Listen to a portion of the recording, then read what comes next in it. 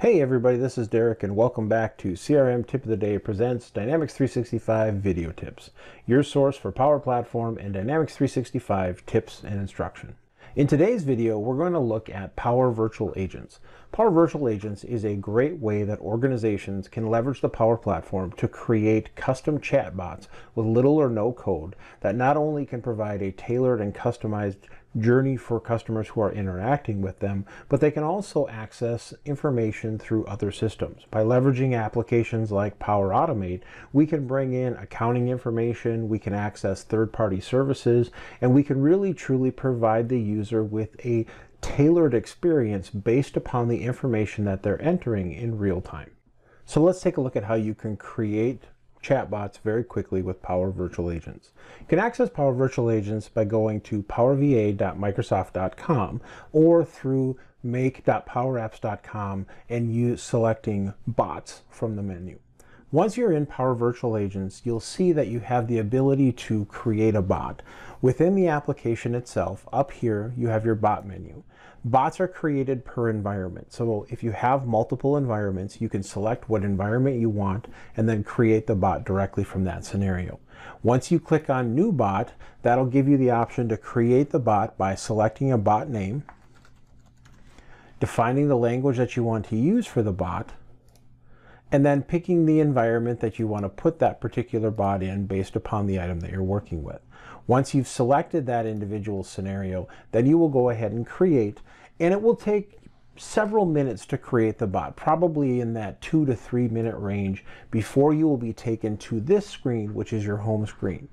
In here, you can see things like learning opportunities that you have to further explore how to create bots, but it also walks you through kind of a step-by-step -step procedure how to create these individual scenarios. One of the key areas that you'll have in here are what are called entities. Entities allow you to take information from natural language conversations. So somebody might enter something like, you know, the city I live in is Fargo, or I live in Fargo, North Dakota.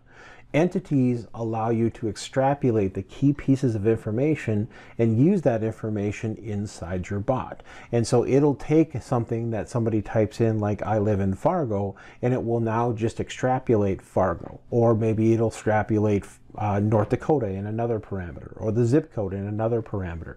What that does is that allows you to use that information to really tailor the overall experience that people are using.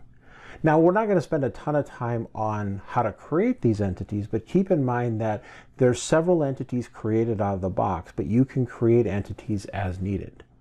One of the key areas that you're going to have when you start working with bots is what are called topics. So if you think about how you would engage with a bot, you're going to ask it a question or you're going to make a statement or provide it with information and it's going to give you some information back in response to whatever that information is that you've put in. That is done through a topic. So think of a topic as a conversation path. When you create a bot, it'll give you several topics that'll be created automatically. So you can see that we have a topic here for a greeting. We have a topic here for goodbye and ending conversation, so on and so forth. From your standpoint, you have to go out and define additional topics based upon whatever those specific needs are. So for example, if you think about what somebody might ask you, they might want to inquire about store hours or something to that nature. So what we can actually do in that situation is I've created a topic here called store hours. So each topic has trigger phrases. So how are people going to engage with this topic? They're going to engage with this topic by typing in something like, are you open today? Or when are you open? Or what are your store hours? You will need to create several different triggers in order for people to be able to launch that particular item. It's a good idea to have at least five, but obviously the more triggers that you have, the better off you're going to be in the long run because it's going to be able to find that information. Each topic will be a little bit different based upon the triggers that you're going to define. The next step that you have is you need to go into and actually define the conversation path. And so this is done by going in and using these different nodes. So the first thing that you'll see in here is I have my trigger phrases that are defined, and then I have a message that says I'd be happy to help you with that, I just need more information. From here, you can start adding individual information like displaying a message, or in this case, I added what's called a question node to actually ask it a question to capture a little bit more information. Okay, I'd be happy to give you some store information. I just need to know where you live. Do you live in Fargo or do you live in Seattle? Based upon that, now it is going out and it is saving this information in order for it to be stored at a later time. Then it will go out and create conditions. So these conditions will be based upon if somebody picks Fargo or if somebody picks Seattle. So if somebody picks Fargo, I added a message node, which just displays a message to the user that says, hey, Fargo's hours are from 9 to 5. If somebody chooses Seattle, now I can see that their hours are from 10 a.m. to 6 p.m. And so what you're doing with these topics is you're just creating what that path is going to look like if somebody were to engage. And you can use these different what are called conversation nodes to do things like add conditions or use the call in action to launch a Power Automate flow or show a message or even switch between individual topics. Once you have kind of your topics in place, you can test that functionality by using the test area. So this will give you a real world experience of what a user might see if they are engaging with this bot. So for example, if I come in here and hit hello, that's going to trigger my greeting topic. And you can see that I have turned on track between topics. So it's showing you, okay, this is the topic that I'm currently engaging with. And you can see that the checkbox is showing me that it was able to hit each one of those message nodes within that item. Now I want to go ahead and say, when are you open?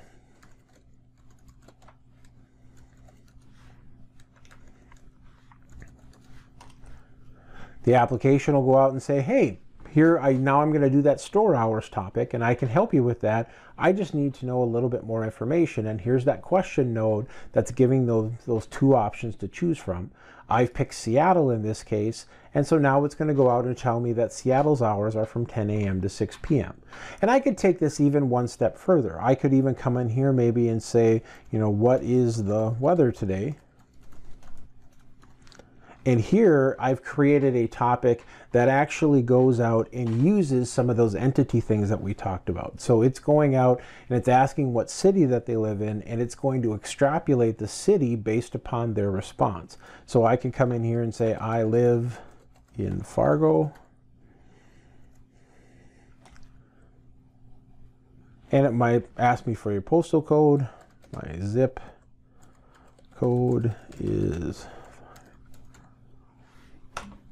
And now it took those two pieces of information, Fargo and so on and so forth, and it gave me a customized weather report within the context of that topic just by using some of the different question nodes and items available. Once you've gone through and created the bot and you've made everything available and tested it, now you can publish it.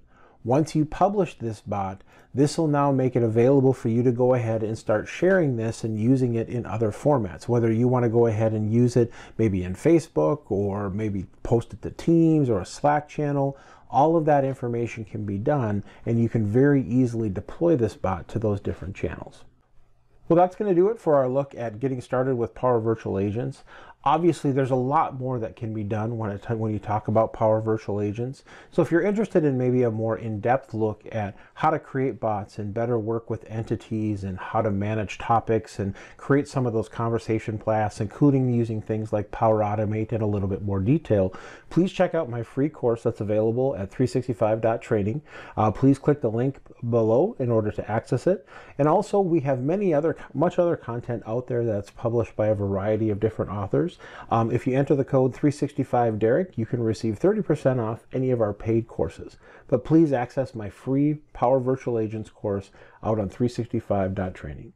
For all of us here at CRM Tip of the Day, this is Derik saying thanks for watching, everybody. Take care and have a good one.